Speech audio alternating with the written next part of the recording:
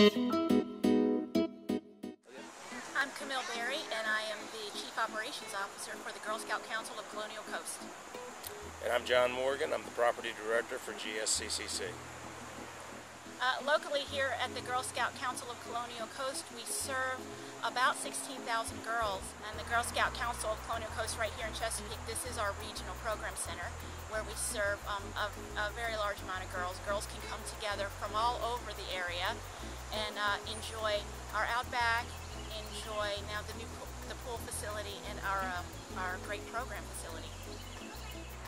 When we built the building here in 1996, um, the dream at that time was to have a full program center with a swimming pool.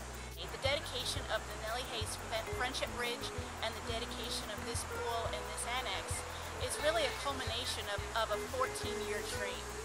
So we're really excited. We are delighted to have a pool because a pool adds a lot. It enhances the Girl Scout leadership experience because it adds a way for a girl to learn to swim. Learning to swim is an incredible way for a girl to become self-reliant and very confident. Girls can also connect with others, have fun in, in a safe place. Girls will be able to enjoy one of the most popular of sports, which is swimming. So it's a great healthy activity for us to encourage.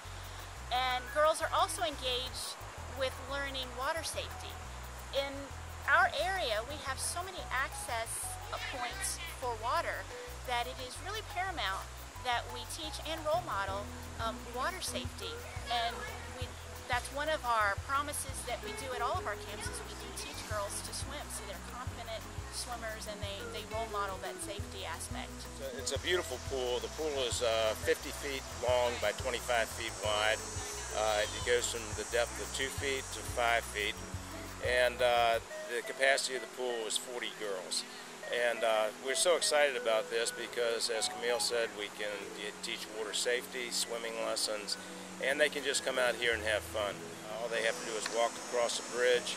Uh, also, we don't have to worry about going out and trying to find a pool, rent a pool. It's right here. So it uh, will. Uh, uh, it's not only more convenient, uh, for the staff and the girls. It would also save money that we can use in other programs.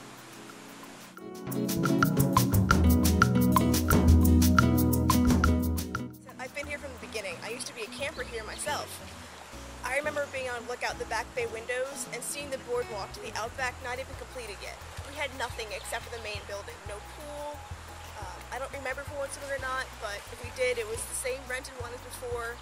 But these girls today have so much more. They've gotten a whole lot, a lot more than I ever had. And I think they enjoy it more because it's all theirs. And they have a lot more to explore and have fun with.